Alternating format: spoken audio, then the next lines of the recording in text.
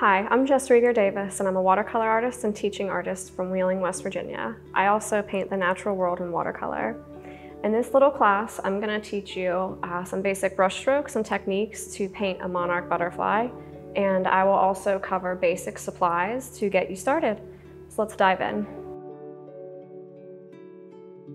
As far as supplies go in watercolor, uh, there are a few basic things we need. The first is paper. So as long as you're using watercolor paper, you can use hot press, cold press, um, you know, that's really up to your preference. Uh, today I'm using hot press, but this is 140 pound watercolor paper, so it's going to hold the paint and water really well. It's gonna sit on top and let us move that paint around uh, without sinking too much into the paper. We also need watercolors. So this is a nice little uh, Winsor & Newton set. And this came pre-filled with color. So all of these colors came ready to go. You'll also need brushes.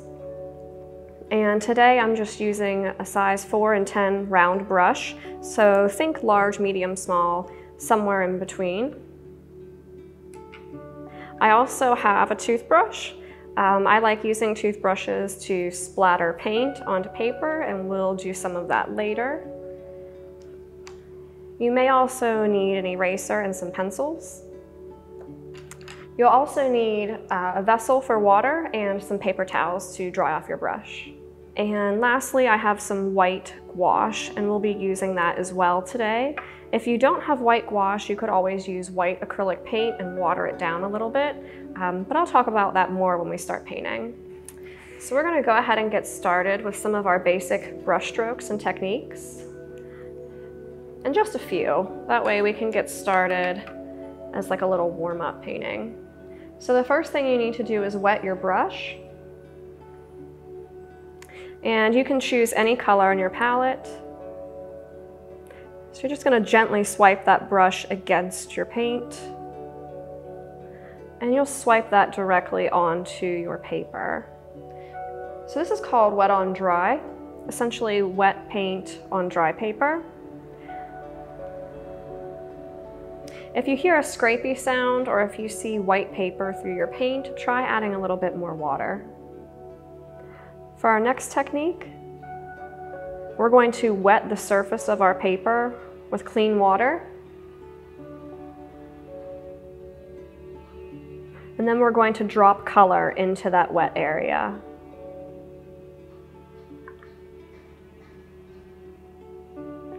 And you can use either brush or any brush that you have on hand for this. I'll switch back and forth a bit. I also want you to kind of play around and practice using your brush as a pencil. So using the point of your brush, drawing with that brush. You can also utilize the entire bristle, you know, not just the point. We can also use the belly of the brush to create bigger brush strokes. And again, you can practice with any brush that you have. Larger brushes, you'll get larger lines. Smaller brushes, you'll get smaller, thinner lines.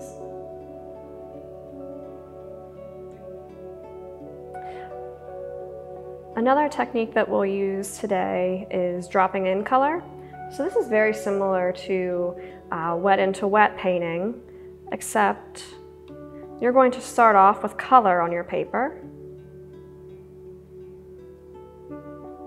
And while this color is still wet, we're going to add a new color. So we'll literally drop that right in. And the nice thing is these colors are going to mix and move on their own. So that's one of the properties of watercolor. Wherever there's water, paint will go. So this yellow is going to move all throughout that blue. Another technique we'll be using is negative painting. So negative painting is essentially painting around an object. So let's just say we have a circle. We'll do a couple circles. And normally these would be sketched out on your paper first. But say I want to leave the inside of those circles white, I'm going to paint around those circles.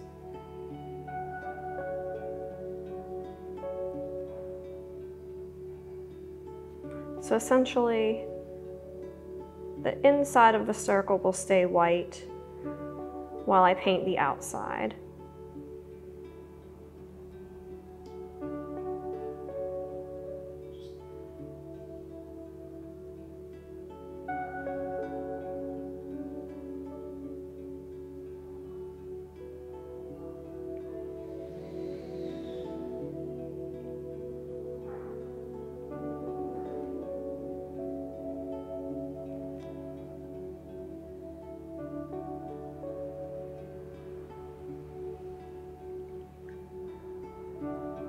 Our last technique that we're going to do is called softening. So softening is when you want to soften an area of color.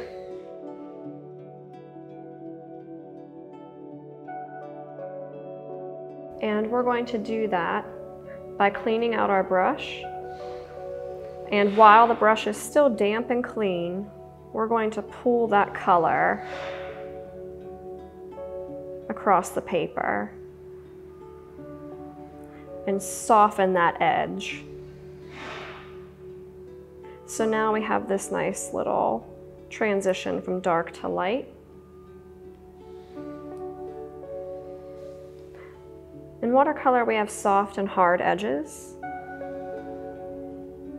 So if you want your edges to be soft, or if you want them to maybe disappear a little bit, this is the key to achieving that.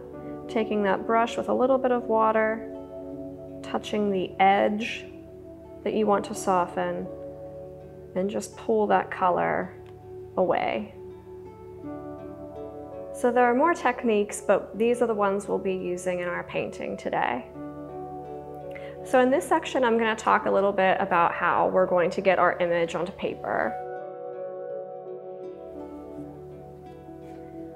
So this is our butterfly we'll be painting today. And this is actually just a sketch um, from my sketchbook. So we can sketch free-handed, meaning we can use this image as our guide and sketch directly onto our watercolor paper. When I sketch, I look at basic shapes. And I'm also keeping this sketch very light. And again, simple shapes.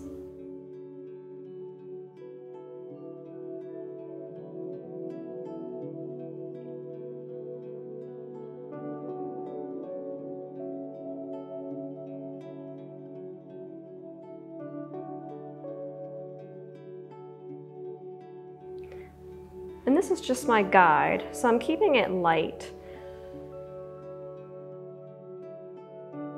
I don't want to see all these pencil lines through my painting.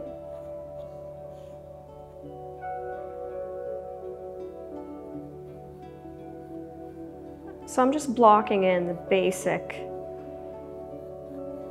you know, these basic shapes that I see.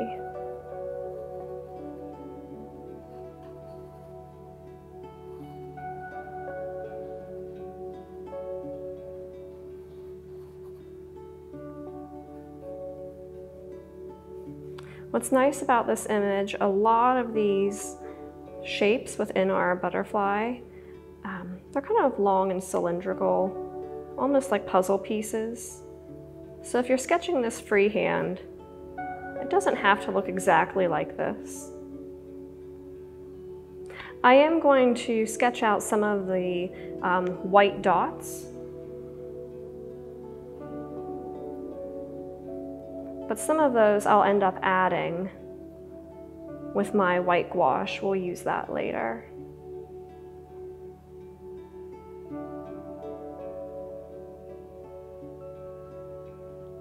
So this is my sketched version. Again, nice and light, um, very airy. we have a lot of room to be able to erase any dark lines, and then as we add paint, these lines will disappear because they are nice and light. If you're not a fan of sketching, or if you're not comfortable with sketching, um, I'm gonna provide reference photos for you so you can use these uh, exact images. But once you have this image, if you print it out, turn that image to the back so we don't see it anymore.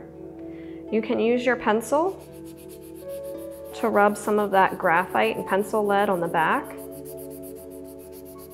So this is just a plain sketching pencil. A number two pencil will work just as well.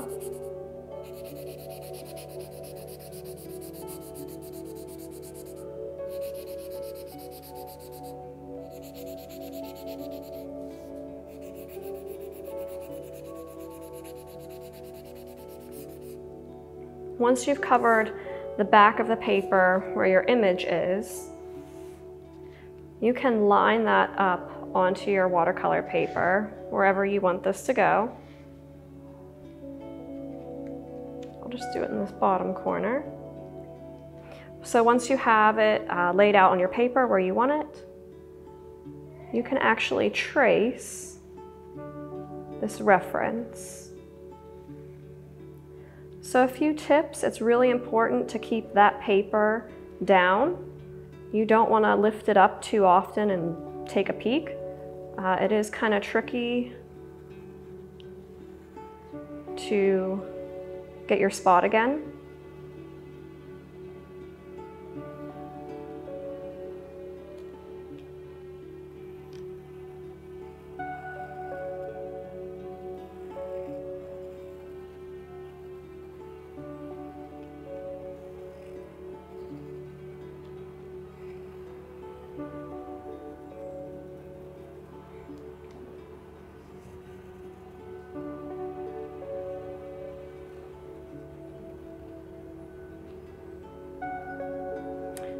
You don't have to push too hard, but you want to apply enough pressure, you know, to the pencil so you know you're transferring your image.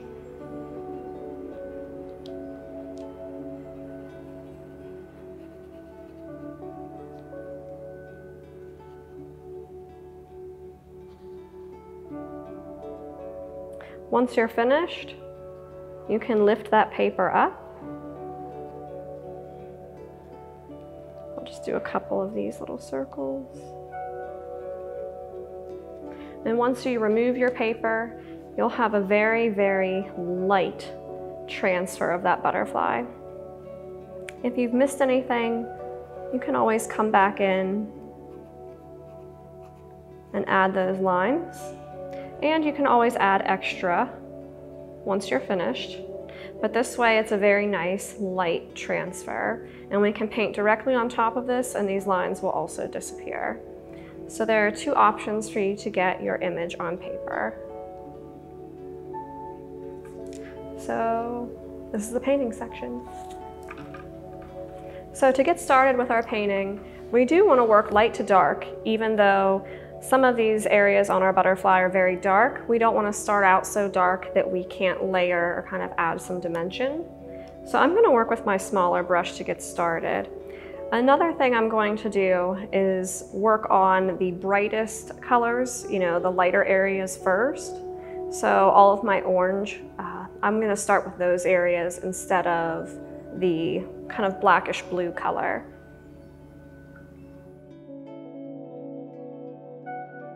So if you're not confident with color mixing, you can set your palette next to your reference photo and pick out the colors that you see.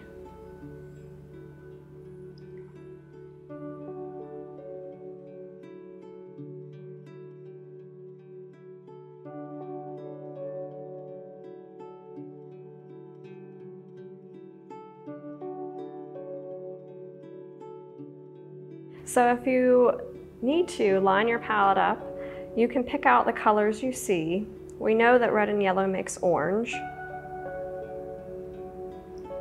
And I'm gonna use Payne's Gray for my dark areas.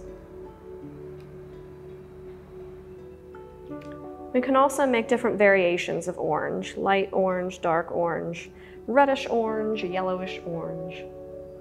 So it doesn't have to just be one shade. We can play around and mix a little bit.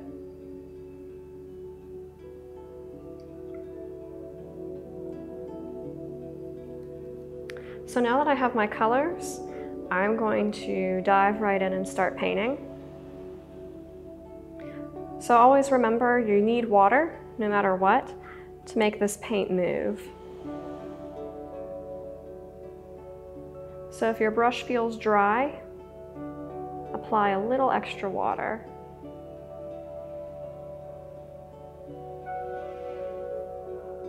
And I'm going to play around with some of that wet into wet technique as well. And drop in some of my darker orange in a few areas.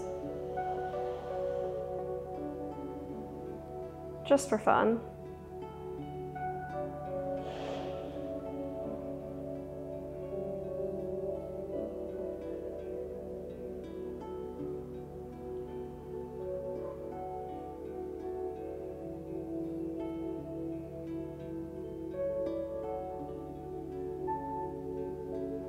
It's okay if some of this mixes and bleeds together.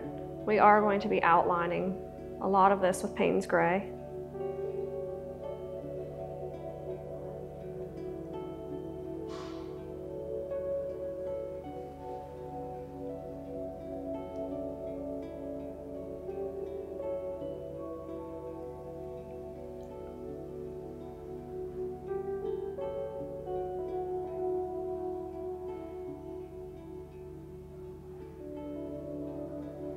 I'm also using a nice amount of pigment because I want this area to be very bold and bright.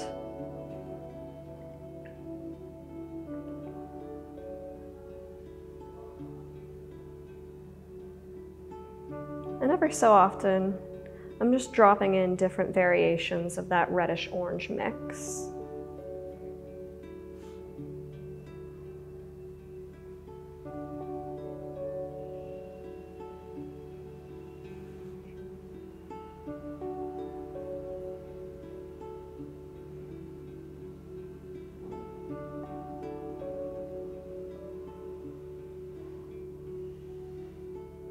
Just using my um, original painting as my guide. So that's what I'm referencing as far as color placement.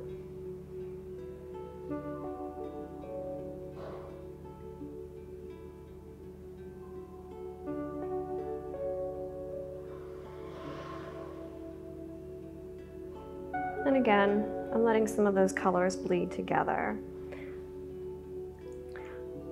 This next part is optional, but I'm going to play a little. And I'm actually going to soften some of these colors and let them bleed into my background, similar uh, to my original painting. I like these uh, kind of streaks of color that make it look like this butterfly is moving.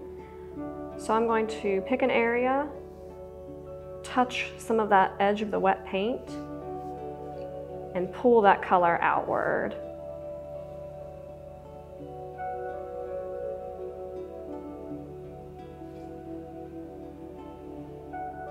You might get a lot of paint that moves like this, or maybe just a tiny bit. It depends on how wet or dry that original layer of paint is.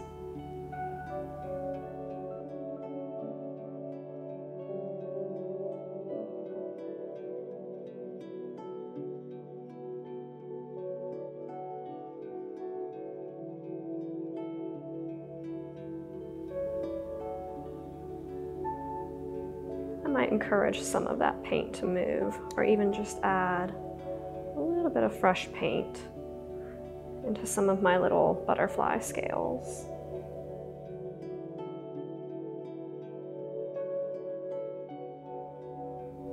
Just to get more color flow. Again, this is optional. You could always leave this step out and let your butterfly dry for a bit and move on to step two.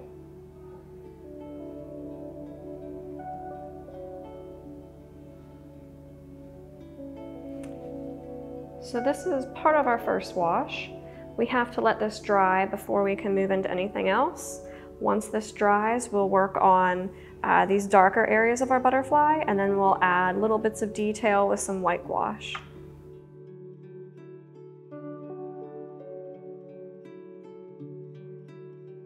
So we're going to pick up where we've left off and work on our second wash. So in this wash, I'm going to add a little bit more orange in some of the areas that it faded, and I'm going to work on those darker areas, um, kind of that border the wing.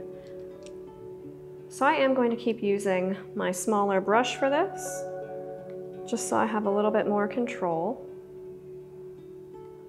And essentially, I'm just adding a little extra color where I feel like I've lost some of that bold orange.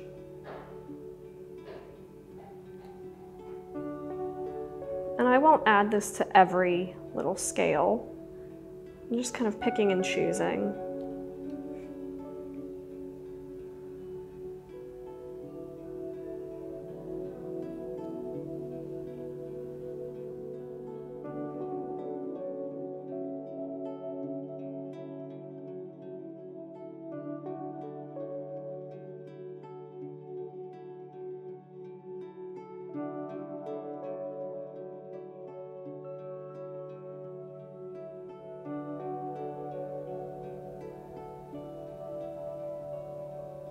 And like I said, this is just hit and miss. Just adding little pops of color where some of that orange faded into my background. So I know these areas are still wet, but they're dry enough in those places that I can work on my Payne's Gray on the edges of that wing. So this is where it gets a little tricky I know monarch butterflies have that really black, bold uh, kind of band on their wings, but I'm gonna keep that color relatively light. I don't wanna go in too dark and not be able to add interest and depth here and there. That and I also just want a light, airy painting. And every so often I'll be adding water to my brush to help move that paint around. And you'll start to see some of my colors bleeding together. I'm okay with that. I'm going to let that happen. If you don't want this to happen, you want your orange to dry before you come in with any darker new color.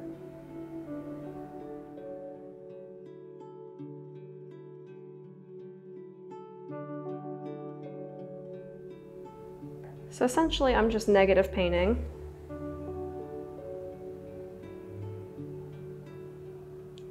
I'm trying to negative paint some of these little circles that I've added, but some of them I will use that white gouache and just add them in later.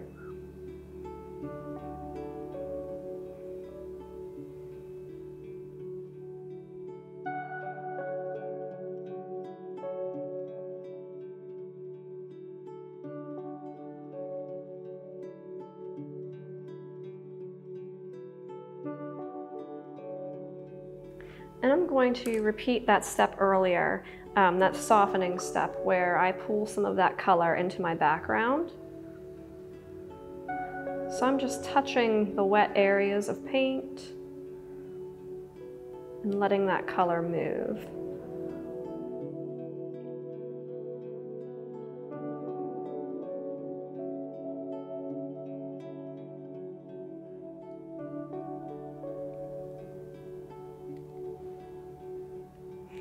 So this is where it's going to get a little tricky. Painting some of these finer lines uh, in between our butterfly scales.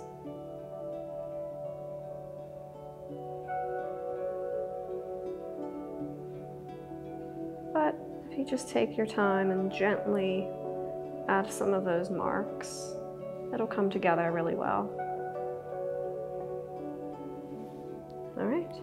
Just gonna keep working my way around this wing. And again, I'm still working relatively light with this color. I really don't want a very, very dark band on the edges of my butterfly.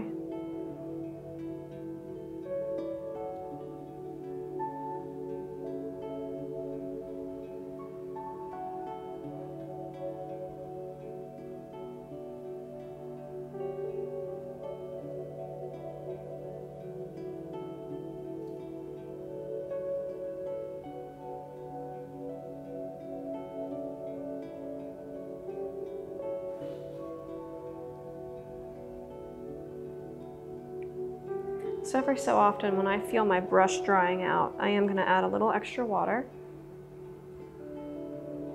because I want that brush to glide across the paper.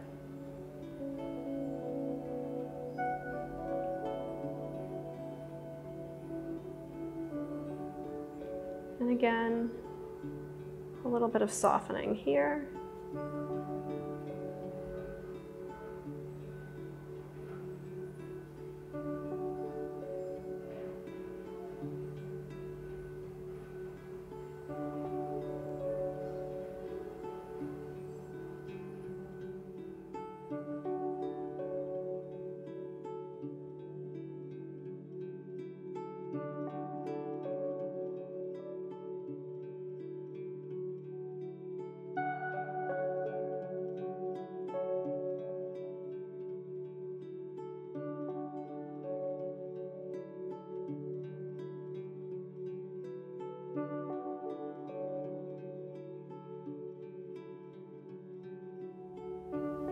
Some of these lines that faded, I might just add little hints of dark around them.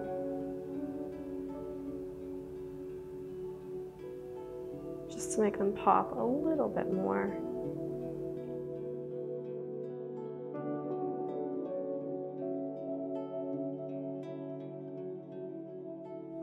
And I'm going to repeat this step on that lower wing.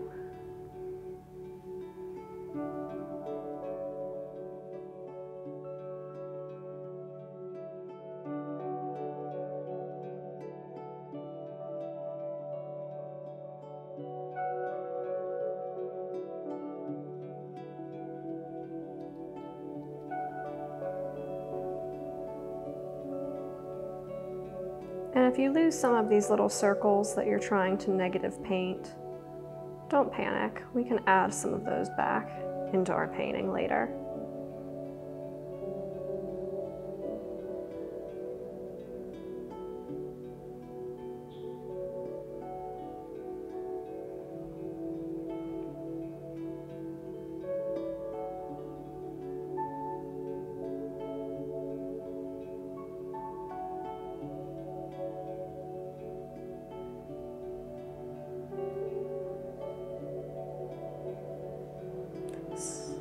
So I'm barely applying any pressure.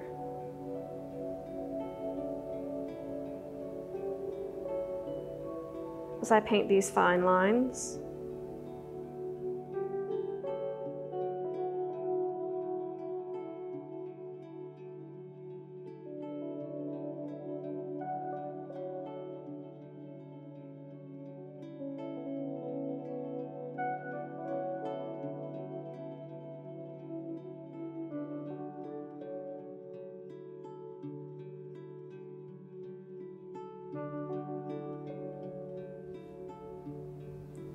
And again, I'm going to soften some of that color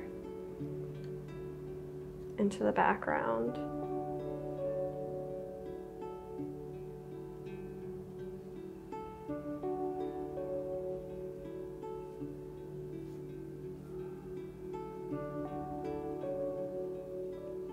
And when we're softening, we're pushing that paint away from your reference, you know, or from your image. Um, we want that paint to go to the outer edges. So it really is kind of a pushing and pulling brush stroke.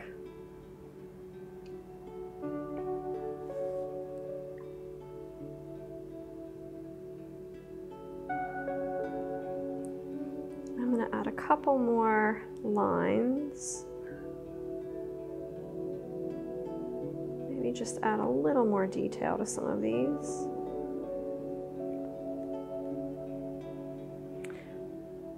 And the body is very long and kind of cylindrical.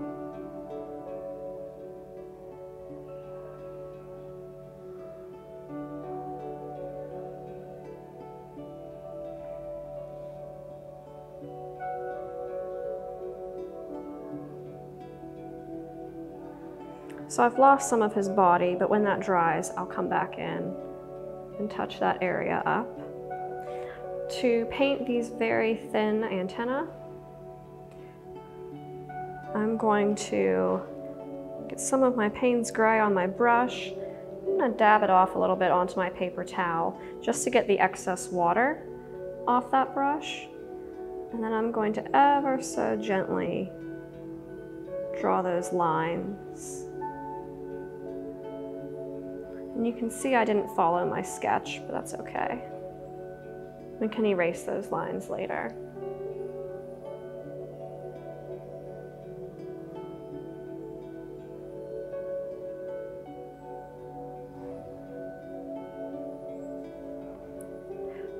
So I'm just gonna touch a few areas with a little extra Payne's Gray. Just where I think that paint can really make the painting pop.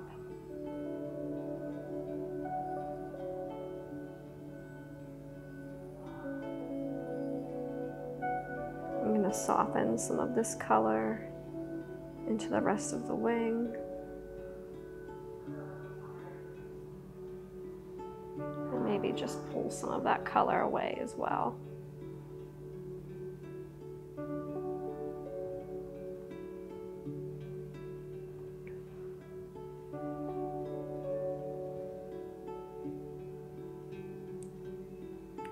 So we'll let this dry. Um, we're going to add a couple white dots around the edges of that wing just to brighten them up. And add a little bit of orange up here. I noticed I missed that in my first reference.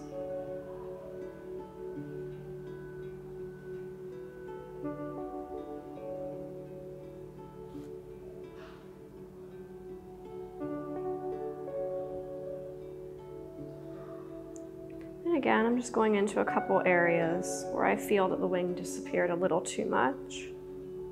And I'm adding a little extra paint. Not a whole lot though. I just want to redefine that wing. While we're waiting for this to dry, um, in this reference I splattered some paint, so I'm going to show you how to do that. We can use a toothbrush or a paintbrush. If you're going to use the paintbrush, I would use your smaller brush, add a little bit of color, and tap the brush that has paint on it against another brush and kind of Get that brush close to your paper, wherever you want the splatter to go. That's how you'll get the most controlled splatter. You can also use a toothbrush just by wetting it, kind of daubing off the excess water. Dip that toothbrush into your paint. And your fingers will get a little messy, but you can flick that splatter on as well. And again, you want to get close to your paper. Um, wherever you want that splatter to go, you're trying to aim the splatter in that direction.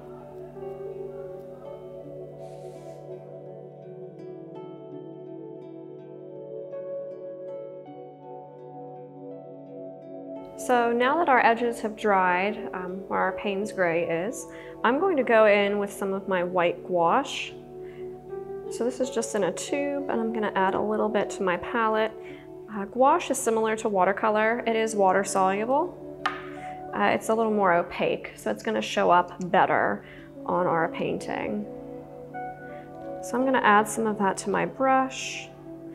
And I'm just gonna start dotting this throughout my butterfly. Wherever I feel like I've lost some of those white dots that I really want to uh, kind of make them pop in this piece.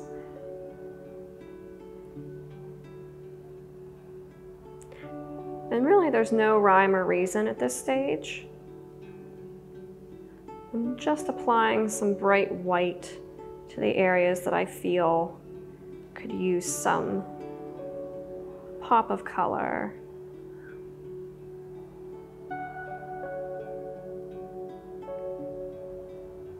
I'm going to add some to the body as well because monarch butterflies usually have a little bit of white on their bodies.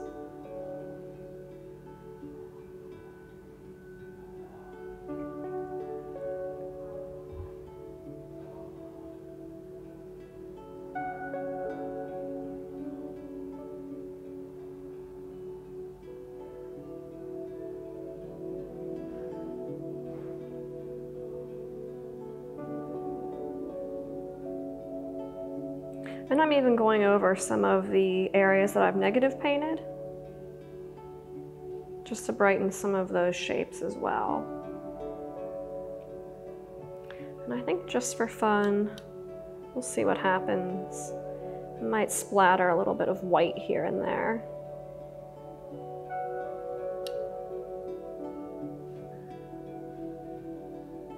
Just in a few places.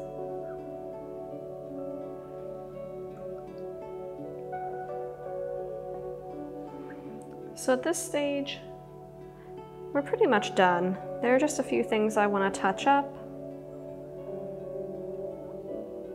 I lost his body shape a little bit, so I'm just going to add that back into my painting.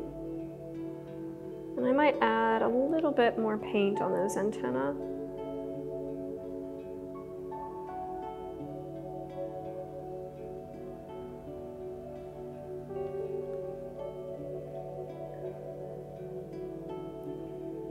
Might just soften some of these areas where my Payne's gray bled into my orange.